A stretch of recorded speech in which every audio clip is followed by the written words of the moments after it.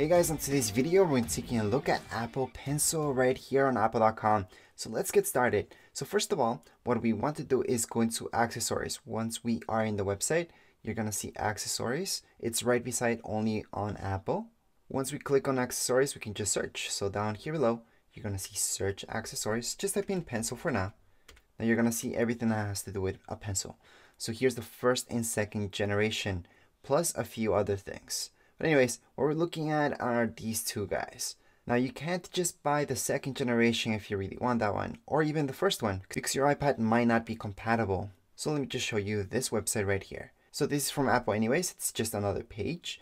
And right here we can see the first and second generation. So the second generation is only compatible with these iPads here. So from iPad mini 6th generation and up, iPad Air 4 and up, and then you got an iPad Pro since the first generation, until the third generation, which is the most recent, an iPad Pro 12.9 inch, but that's from the third generation and up. So if you have an iPad Pro 12.9 inch, that's the first or second generation, you shouldn't buy the Apple Pencil second gen. You should buy the Apple Pencil first generation. So again, the Apple Pencil first generation is not going to work with all iPads either. It has to be one of these in the list. So right here, you guys can see that the iPad mini, only the fifth generation can work with that. And then from iPads, the sixth generation and up all the way to nine. And then iPad Air, third generation. Anything underneath that, so second generation, first generation will not work. And then iPad Pros. Well, the first generation does work. The second generation works as well for an iPad Pro, the 12.9 inch. And then you're looking at the 10.5 inch that came out and the 9.7 inch that also came out from before.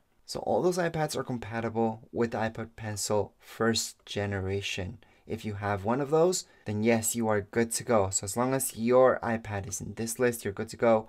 Or if your iPad is in this list, then you have to buy the second generation of Apple Pencil. Both Apple Pencils do work slightly different, especially when it comes down to their charging. Other than that, the shape is also a tiny little bit different. But I think most of you, if you can get the second generation, you should. It's just much easier to charge and not lose parts. And you'll see why if you watch my video about how to charge an Apple Pencil. But anyways, that would be it for this video. If you guys have any comments, questions, you guys can write down here in comments area. Don't forget to subscribe and rate. Thank you.